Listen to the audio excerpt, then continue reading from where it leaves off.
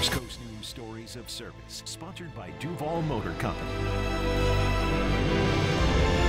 In this week's Stories of Service, we're going to Naval Air Station Jacksonville to meet the Senior Sailor of the Year. She's a proven leader on base and out of uniform, a proud mother of one who considers her daughter her shining star. Well, I'm currently an aviation electrician's mate, first class petty officer. Petty Officer Jennifer Ledesma is a native Texan who now calls NAS Jax home. She currently works in maintenance control with Patrol Squadron 30. Was anybody trying to get in touch with Aircraft 435? Ledesma helps keep these big military planes in the air. So basically, if the plane breaks, we fix it. Uh, we also try to prevent the plane from breaking down. The 35 year old is the recipient of numerous awards. AE's had an assist math too, right? Including Navy and Marine Corps Commendation medals. But if you ask her about her biggest accomplishment, she'll tell you it's her 11 year old daughter. She keeps her picture in her pocket.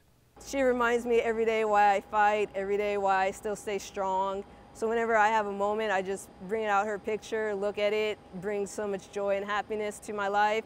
When Ledesma is not in uniform, she's making sure her little girl grows up to be a strong and successful woman. We are very involved with the Girl Scouts, Troop 2100. Uh, we go camping, outdoors adventures. Um, we do everything to help empower uh, the future girls of tomorrow. And when she's not working on these planes, she's continuing to pursue her education. Uh, I got my associate's degree in general education. Now I'm currently working on my bachelor's in applied mathematics while saving my GI Bill to utilize towards my daughter so when she's ready to go to college, she'll be set up for success.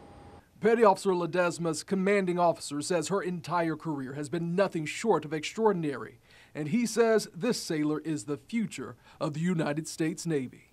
Great things happening, and I can't wait to see what the future brings for us. And if you have a story of service to share, I would love to hear from you. Just email us at storiesofservice at firstcoastnews.com. Once again, that's storiesofservice at firstcoastnews.com. I'm Anthony Austin.